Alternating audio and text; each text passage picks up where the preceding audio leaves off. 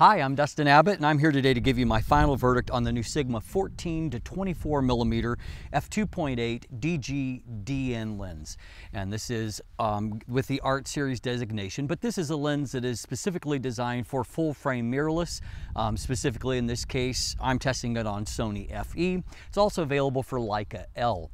Um, I have done this review on both the Sony a7R Mark III along with the new Sony a7R Mark IV. And so I've been able to really test it at what is currently the limits of uh, resolution when it comes to a 35 millimeter body.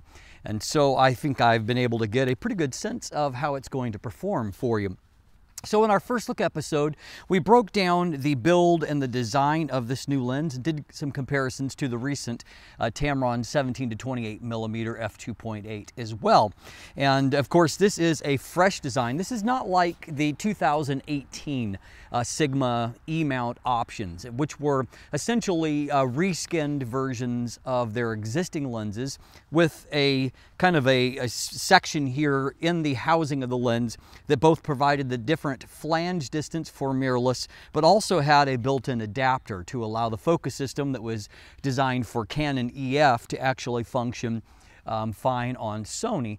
And so, you know, those lenses were a compromise. They had a compromised autofocus system that typically worked fairly well. You know, I've seen some variation across the various ones that I've reviewed but uh, you know definitely not native like performance because the focus system wasn't designed for uh, Sony natively and mirrorless focus and DSLR focus operate in different fashions. Uh, beyond that, it was also compromised in terms of length and that you're moving to what many people perceive needs to be a smaller um, design. And mirrorless does allow for some size reductions when it comes to lens design. In this case, the lenses were actually larger because you were actually adding something to rather than taking something away from the existing lens design. So fortunately, this is a, a, part of a crop of three lenses that have just been released by Sigma, including the 45 millimeter f2.8 that I've previously reviewed, um, this lens, and then the next one that I'll review, which is a brand new 35 millimeter f1.2 um, prime lens, which by the way, would be the uh, you know the widest maximum aperture on an autofocus lens on the Sony platform, to my knowledge. So this fresh design, in many ways, uh, is advantageous in that it is it is somewhat smaller. It's smaller in diameter. It's a little bit shorter than the original 14 to 24 millimeter f2.8 art lens, which I reviewed on Canon previously. I was a big fan of that lens, and so it's a little bit physically smaller, but it's also considerably lighter, uh, somewhere close to 400 grams lighter, and and so it makes it a much more natural fit on a you know a Sony body. And I found it you know that while it's not necessarily a smaller light lens it's it's within the range of acceptable of what works on mirrorless. And so a good fit then it's got uh, a thorough weather sealing starting with the gasket at the uh, rear mount internal seals throughout and then a coating on the front element to be uh, moisture and oil resistant. And so a very nice quality build. Also fairly feature rich um, in the sense that it not only has an AF-MF switch which I'm always happy to have I always emphasize that. Even on mirrorless I prefer to have that. But also um, it is one of the first non-Sony branded lenses to have an AFL autofocus hold button, which you can actually program in the camera body to serve a variety of different functions. And so um, I'm really glad to see that. Um, everything works well here. The, um, you know, the zoom ring along with the manual focus ring um, all works well. So drawbacks to this particular kind of combination, of course 14 millimeters is very wide on full frame and f2.8 is a very wide maximum aperture for that focal length. And so byproduct of that, your compromise trade-off is that you have a bulbous or rounded front element and there is no room for traditional filters on the front. So one of the factors you can use to determine you know, whether you prefer this lens or the Tamron is of course focal length um, is a big one. I mean 14 millimeters is considerably wider than 17 millimeters. The other thing though is how important using traditional filters is to you. Um, of course the Tamron has a moderately sized 6 7 millimeter front filter thread so it's easy to filter. With the Sigma you're either going to have to use an aftermarket front filter system probably with square filter filters, or it does have a built-in gel filter holder in the back, and it also comes with a template for creating properly sized gel filters. You know, there are some compromises that come with gel filters. They're often not optically all that exceptional. And so, I mean, obviously filtering is not a highlight of this lens. There's no easy way to do it.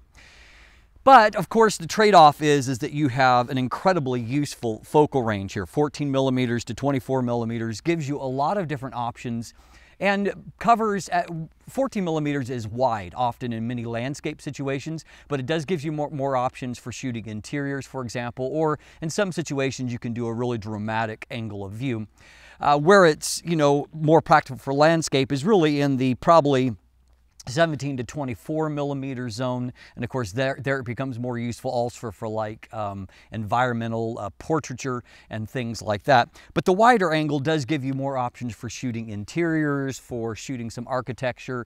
And you know there are situations where you can't back up anymore. And so having this kind of focal length is extremely useful.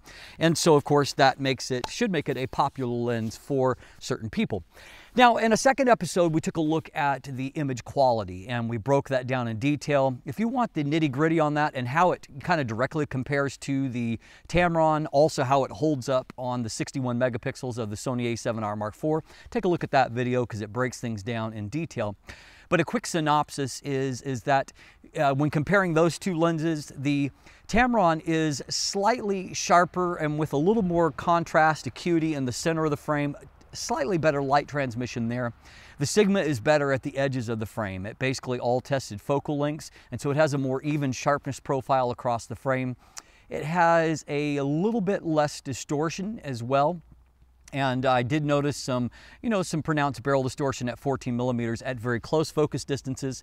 However, when shooting like city um, architecture, I had no issue with curves in my lines. It's, you might see a little bit of it in shooting interiors, however, depending on the application. And so, of course, you're gonna need to do some correction. Unfortunately, there is a slight mustache pattern to that, but it corrects fairly well. And, and so, um, so a little bit of variation there. The Sigma is a little bit warmer in its color temperature, its uh, tone, and the Tamron is a little bit cooler by comparison. But what I did note is that the Sigma delivered really um, rich images for me. I felt like the color was actually really good in a lot of applications. Um, contrast is good. There's a lot of detail there. And also it combines with good flare resistance. And one area where the Sigma is a real standout is when it comes to the coma performance. And it, it, it's a great astro lens. In fact so far on Sony I would say this is probably the best lens that I've tested for astro so far because it has very very little instances of coma. Um, I don't find the vignette to be all that heavy, even at 14 millimeters compared to a lot of wide angle options. And so it's actually a really strong performer for that. And so if you're looking for a great Astro lens, this should jump really to the top of your list. And so a great performance for that.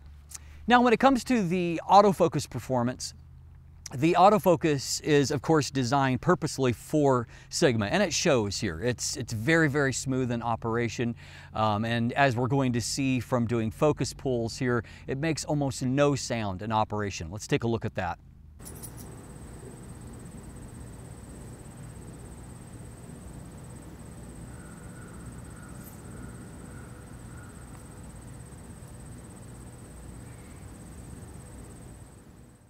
So as you can see, focus pulls are very smooth and it is basically silent, even using the onboard microphone. So really strong performance when it comes to that.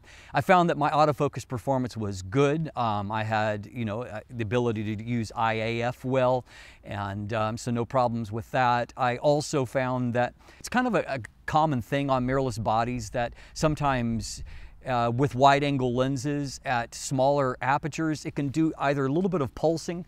The Tamron did a little bit of that in one specific instance. The Sigma did not in that situation. So really good autofocus performance all around.